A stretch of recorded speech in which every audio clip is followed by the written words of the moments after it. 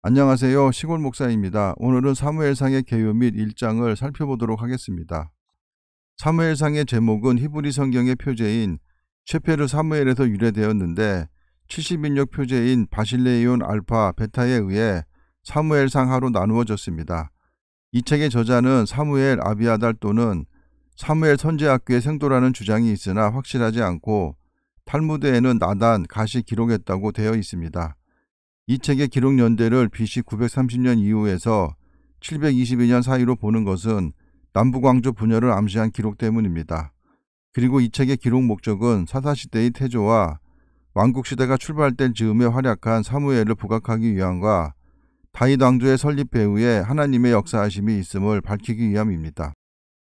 1절입니다. 에브라임 산지 라마다임 소빔에 에브라임 사람 엘가나라 하는 사람이 있었으니 그는 여로함의 아들이요 엘리후의 손자요 도후의 증손이요 숩의 현손이더라. 엘가나는 에브라임 지파 사람이 아니고 레위 지파 그핫 계열 제사장으로 에브라임 지파에 파송된 사람입니다. 그에게 두 아내가 있었으니 한 사람의 이름은 한나요 한 사람의 이름은 브닌나라. 브닌나에게는 자식이 있고 한나에게는 자식이 없었더라. 히브리인들은 자식이 없는 것을 하나님의 징계나 저주의 결과로 간주했습니다. 3절입니다. 이 사람이 매년 자기 성읍에서 나와서 실로에 올라가서 왕군의 여호와께 예배하며 제사를 드렸는데 엘리의 두 아들 홈리와 비느아스가 여호와의 제사장으로 거기에 있었더라.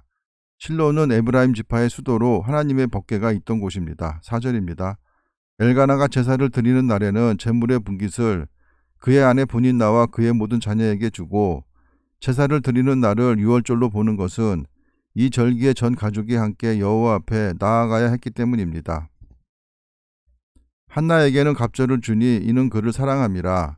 그러나 여호와께서 그에게 임신하지 못하게 하시니 한나의 임신은 사라 리브가 라엘 삼손의 어머니 마노아의 아내 세례 요한의 어머니 엘리사벳과 같이 하나님의 적극적인 섭리로 말미암은 것입니다. 6절입니다. 여호와께서 그에게 임신하지 못하게 하심으로 그의 적수인 분인나가 그를 심히 격분하게 하여 괴롭게 하더라. 심히 격분하게 했다는 것은 온갖 방법으로 그녀를 괴롭혔음을 나타내는 말입니다. 7절입니다. 매년 한나가 여호와의 집에 올라갈 때마다 남편이 그같이 하매 분인나가 그를 격분시키므로 그가 울고 먹지 아니하니 희생 제물을 나눌 때마다 한나에게만 갑절로 주어 분인나의 질투심을 유발한 것으로 보입니다. 8절입니다.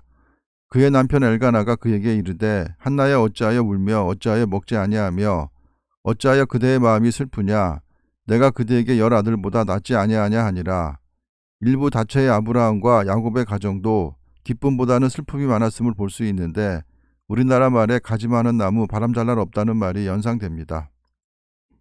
그들이 실로에서 먹고 마신 후에 한나가 일어나니 그때의 제사장 엘리는 여호와의 전 문설주 곁 의자에 앉아 있었더라.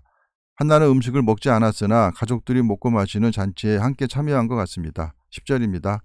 한나가 마음이 괴로워서 여호와께 기도하고 통곡하며 서원하여 이르되 만군의 여호와여 만일 주의 여종의 고통을 돌보시고 나를 기억하사 주의 여종을 잊지 아니하시고 주의 여종에게 아들을 주시면 내가 그의 평생의 그를 여호와께 드리고 삭도를 그의 머리에 대지 아니하겠나이다. 나시린의 서원은 태어나기 전부터 이미 자기 자식이 소명되었음을 확실히 인식한 어머니에 의하여 태어날 자식의 평생을 하나님의 손에 맡기겠다는 신앙적 결단에 따라 이루어집니다. 12절입니다.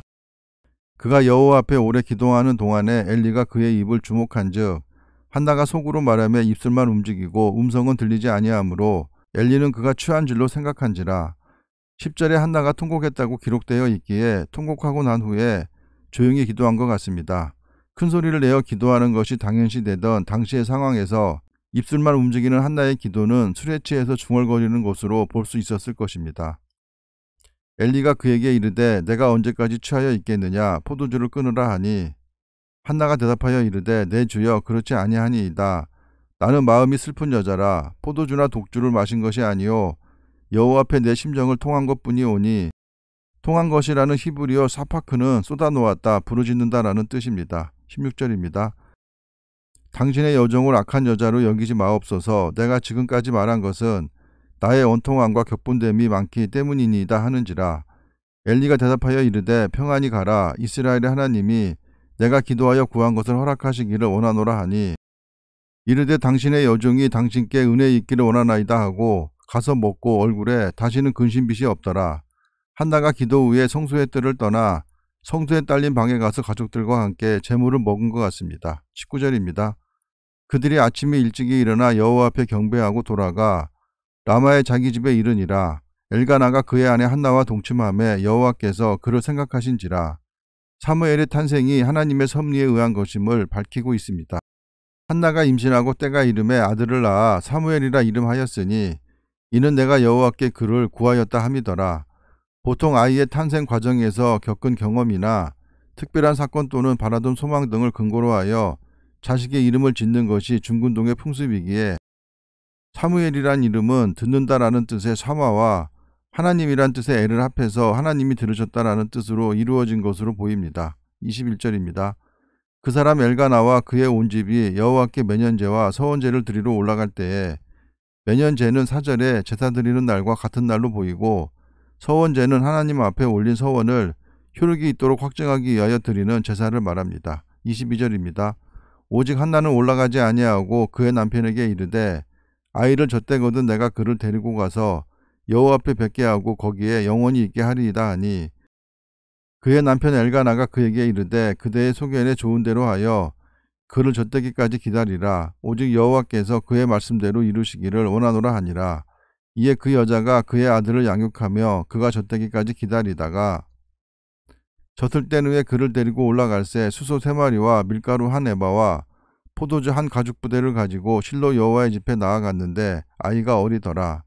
수소가 단수 형태인 히브리어 파르로 기록되었기에 70인 역과 일부 역본들은 3년 된 수소로 번역하였는데 한 마리는 매년제, 한 마리는 감사제물, 한 마리는 서원제이기에 세 마리가 맞을 것이고 민수기 15장의 규정에 소 한 마리에 밀가루 10분의 3 에바를 섞어서 드리라고 기록되어 있기에 소세 마리가 맞는 번역으로 보입니다.